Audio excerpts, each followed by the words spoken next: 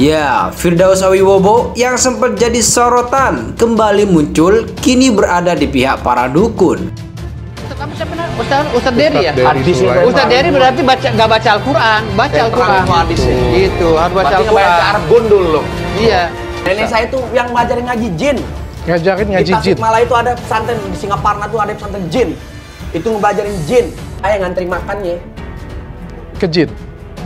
Tanya ke jin langsung ngantri makan tuh. Alhamdulillah saya sekarang uh, sedang melukis Al-Quran 30 juz. Jadi kalau melukis Al-Quran otomatis sebelum ditulis Al-Quran itu dibaca dulu Kemudian setelah tertulis dibaca ulang. Nah berulang-ulang supaya tidak ada kesalahan. Jadi kalau dibilang saya tidak baca Al-Quran tentu itu sebuah fitnah ya. Tapi nggak apa-apa lah masalah saya maafkan oke. Dan bahkan Imam Syafi'i menyatakan siapa pun ustadz, kiai atau siapa pun manusia yang menyatakan bisa melihat jin perlu dipertanyakan syahadatnya atau diulangi lagi syahadatnya. masalah yang di Dr. Richard. Masalah jawaban saya, saya bilang Ustadz Heri. Saya dengarnya pada saat itu Ustadz, Heri itu. Dr. Richard Lee tidak menjelaskan secara gamblang namanya uh, Ustadz Dery Sulaiman. Saya mohon maaf kepada para ulama, para kiai, para habaib. Apabila ada murid-murid saya atau anggota-anggota saya di mana pun berada yang galil adab yang tidak sopan kepada para habaib, para ulama, para kiai, mohon dimaafkan. Saya atas nama pribadi sebagai ketua umum di mana perkumpulan para dukun itu bersatu untuk melawan pesulap merah. Pasalnya, pesulap merah dituding telah menjelek-jelekan profesi mereka. Mereka pun akhirnya melaporkan pesulap merah ke pihak kepolisian. Para kumpulan dukun itu pun menunjuk Firdaus Awiwobo sebagai pengacara mereka. Firdaus Awiwobo membeberkan kalau pesulap merah sebetulnya adalah dukun. Bahkan keluarga pesulap merah adalah seorang dukun senior. Ia juga menuding kalau dulunya pesulap merah itu dukun cabul dan penipu. Menanggapi tudingan tersebut, pesulap merah balas dendam dengan kata-kata menohok. Melansir dari surya.co.id, pesulap merah memberikan klarifikasinya pada Instagram storiesnya. Ia merasa kalau tudingan tersebut Firdaus Owiwobo tak berdasar.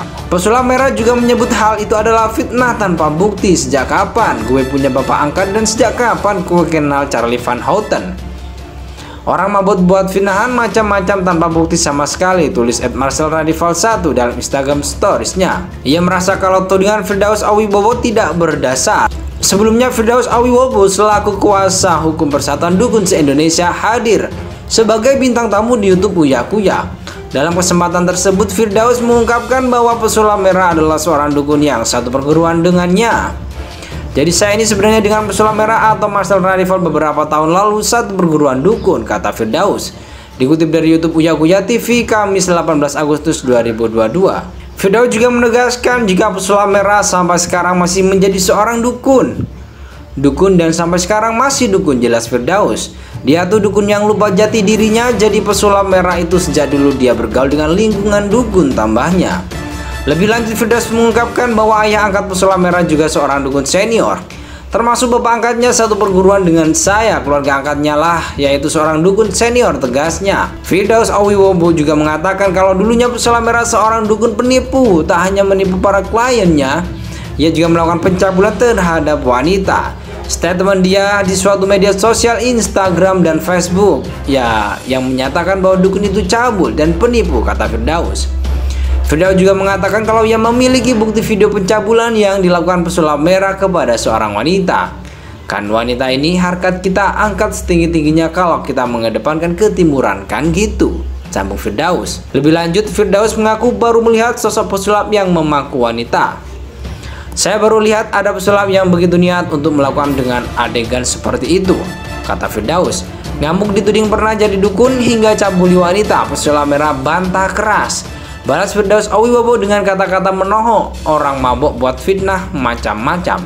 Banyak pesulap yang lebih hebat seperti Deddy Corbuzier, Demian, dan lagi Uya Kuya, tapi mereka tidak melakukan tindakan itu atau memaku wanita tambahnya. Firdaus juga menegaskan jika pesulap merah sampai sekarang masih menjadi seorang dukun.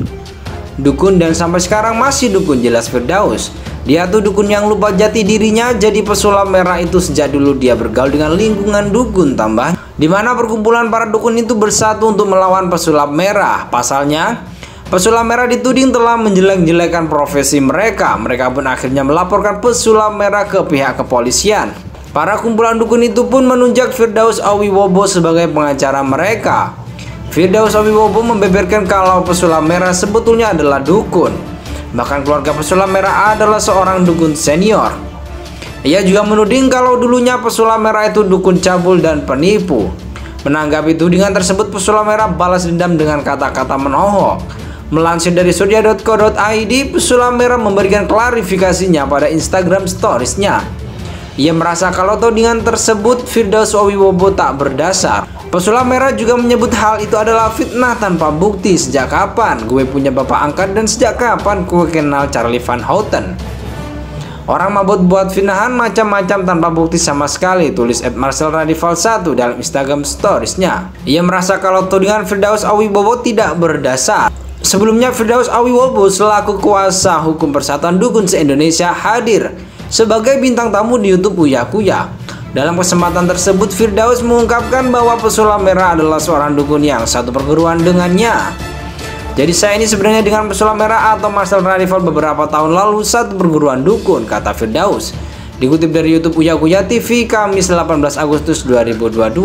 Firdaus juga menegaskan jika pesulap merah sampai sekarang masih menjadi seorang dukun. Dukun dan sampai sekarang masih dukun jelas Firdaus. Dia tuh dukun yang lupa jati dirinya jadi pesulap merah itu sejak dulu dia bergaul dengan lingkungan dukun tambahnya. Lebih lanjut Firdaus mengungkapkan bahwa ayah angkat pesulap merah juga seorang dukun senior.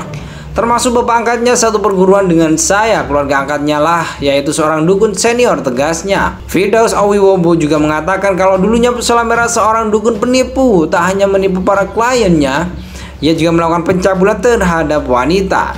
Statement dia di suatu media sosial Instagram dan Facebook. Ya yang menyatakan bahwa dukun itu cabul dan penipu kata Firdaus Firdaus juga mengatakan kalau ia memiliki bukti video pencabulan yang dilakukan pesulap merah kepada seorang wanita.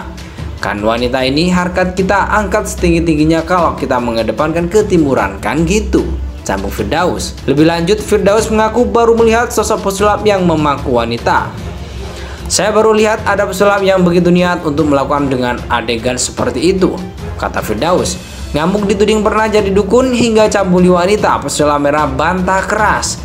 Balas Firdaus Awibowo dengan kata-kata menohok orang mabok buat fitnah macam-macam.